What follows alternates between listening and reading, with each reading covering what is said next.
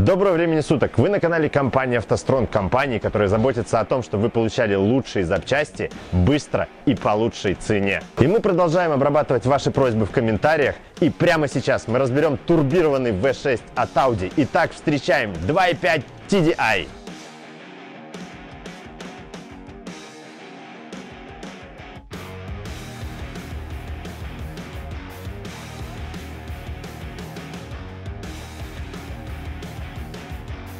Итак, первый вообразник на нашем канале 2.5 TDI, созданный инженерами Audi, который пришел на смену рядным дизелям того же объема в 1997 году. Дебютировал он на Audi A6 C5 и стал первым в мире дизелем V6 с четырьмя клапанами на цилиндр. У него одна турбина с изменяемой геометрией и насос VP44. Говоря об этом дизеле, нужно упомянуть, что у него порядка 10 модификаций. Условно можно поделить на два поколения. Кодовое обозначение первого поколения начинается с буквы А, а второго поколения с буквы Б. Эти двигатели устанавливались с 1997 по 2005 год на такие автомобили, как Audi A4, Audi A6 и A8, также на Volkswagen Passat и Skoda Superb мощностью от 150 до 180 лошадиных сил. Оснащенные этим двигателем Audi A6 смогли разогнаться до 100 км в час быстрее, чем за 10 секунд, и максимальная скорость составила свыше 200 км в час. Мы разбираем одну из самых мощных версий этого мотора с обозначением АКЕ на 180 лошадиных сил. Этот мотор снят с Audi A6C5 2001 года с пробегом 300 тысяч километров. Про болячки данного мотора мы можем начать рассказывать еще до разборки, а именно про течь масла между клапанной крышкой и ГБЦ, вызванной перегревом мотора и из-за несвоевременной замены антифриза некачественного масла, а также старения самих прокладок. Прокладки клапанной крышки по оригиналу являются частью самой крышки. Также довольно часто масло течет на сопряжение блока и поддона. В версиях моторов АФБ и АКН стоит проблемный тканевый фильтр картерных газов. Он забивается нагаром, и тогда э, двигатель начинает парить из масляной горловины. И чтобы решить эту проблему, можно поставить циклонный маслоотделитель с нашего мотора.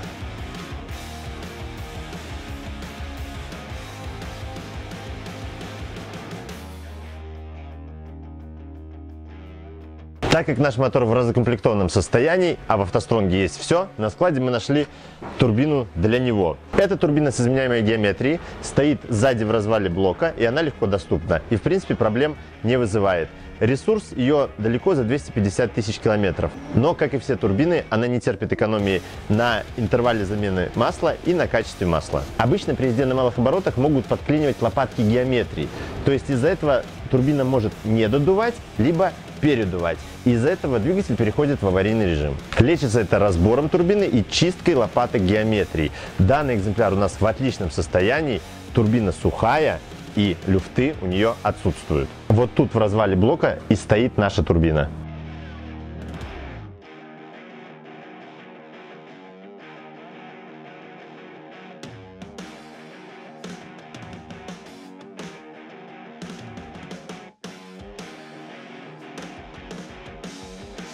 Привод ГРМ здесь ременной, два ремня. Маленький приводит движение ТНВД. Из-за тесной компоновки мотора, чтобы поменять ГРМ, нужно снимать практически всю морду. Бампер, радиаторы и оптику. При замене ремня ГРМ обязательно нужно менять помпу. Желательно ставить оригинал, либо же иксовую восстановленную помпу на заводе-изготовителя.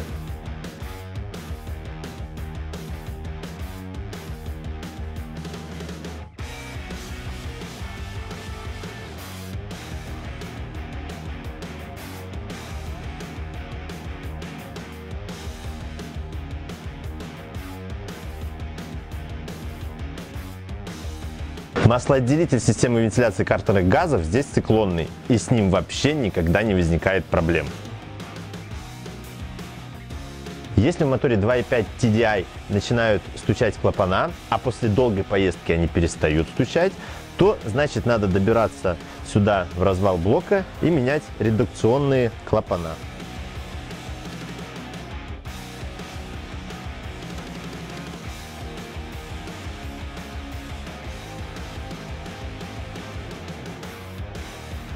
Так как у нас двигатель разукомплектован, а на нашем складе есть практически все, мы нашли комплект форсунок на наш мотор.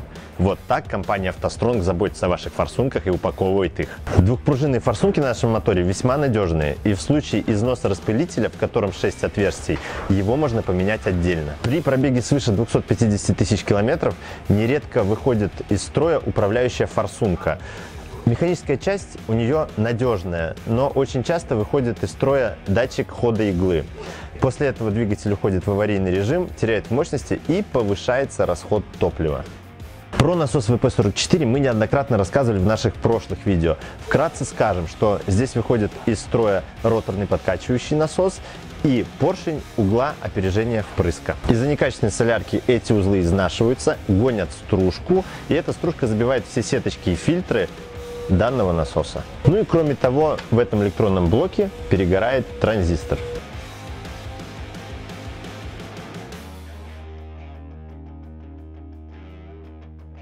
В головке блока мы видим два распредвала. Выпускной распредвал приводится в движение ремнем ГРМ, а выпускной распредвал приводится в движение парой косозубых шестерен. Головка блока в данном моторе является слабым местом. Все моторы А-серии болели повышенным износом коромысел, их шайб подпятников и гидрокомпенсаторов клапанов. И затем все вот эти косяки были исправлены в моторах Б-серии. Мы видим, что эта проблема не обошла стороной и наш мотор. До коромысел мы еще доберемся, а вот э, кулачкам распредвалов уже пришел конец.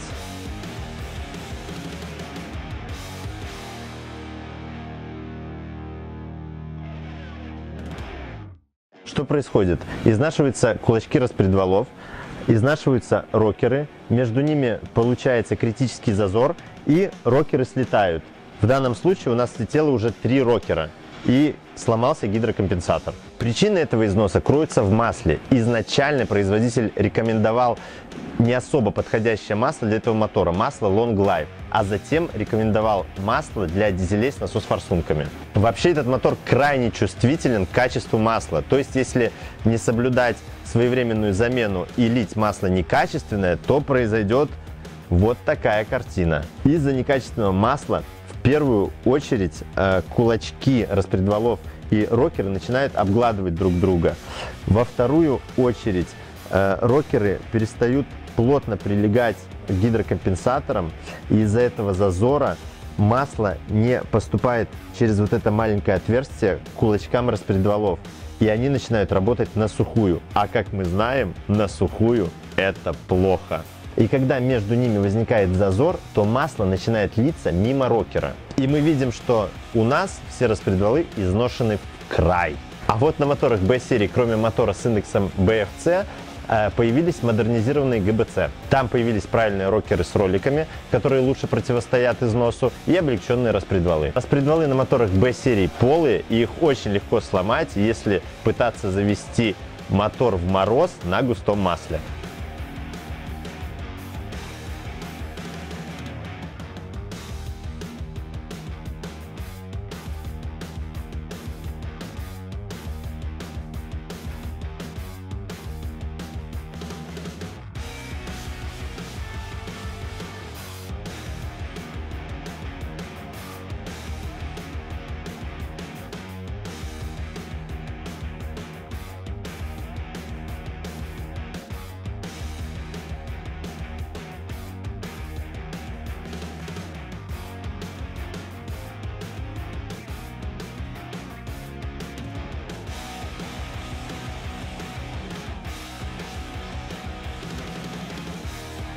Несмотря на то, что этот мотор прошел аж 300 тысяч километров, цилиндры у него в очень хорошем состоянии. Хон присутствует и задиры отсутствуют.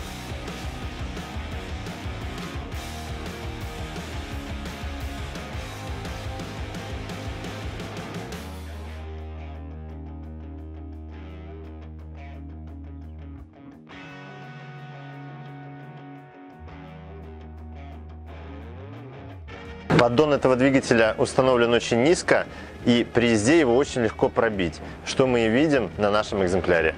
Как только мы сняли поддон, мы обнаружили два подпятника, которые как раз отсутствовали в нашей ГБЦ. Цепь, которая находится в картере, приводит в движение маслонасос и балансирный вал.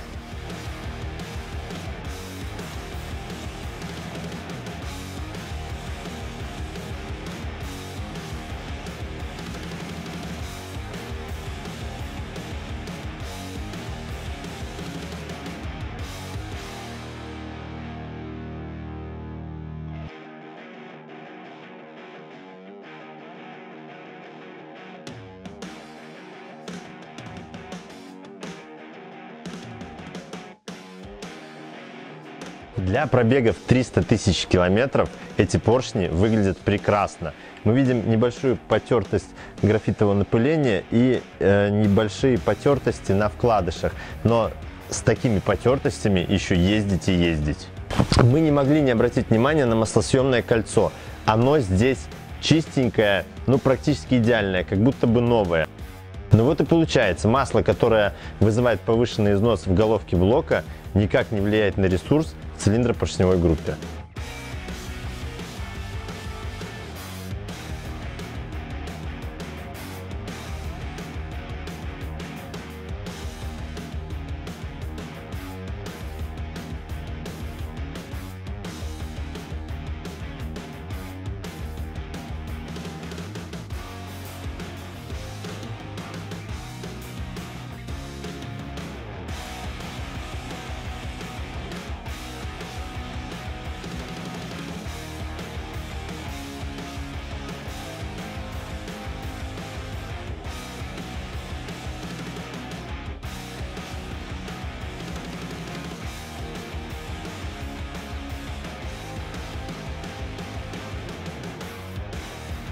А теперь полюбившаяся всем рубрика у окулиста. На глаз коленвал прекрасен. И даже не скажешь, что он пробежал аж 300 тысяч километров. Сегодня у нас произошло знаковое событие. Для нашего канала мы разобрали первый V6. Надеемся, что скоро на постоянной основе мы будем разбирать V8 и V12. На данном двигателе мы рассмотрели основную и самую дорогостоящую проблему моторов А-серии. Разборка закончена. Подписывайтесь на наш канал, подписывайтесь на наши соцсети, делитесь этим видео, пишите в комментариях, какие моторы вы хотели бы видеть в наших следующих выпусках. Заходите наш сайт и покупайте у нас отличные запчасти. С вами была компания «АвтоСтронг».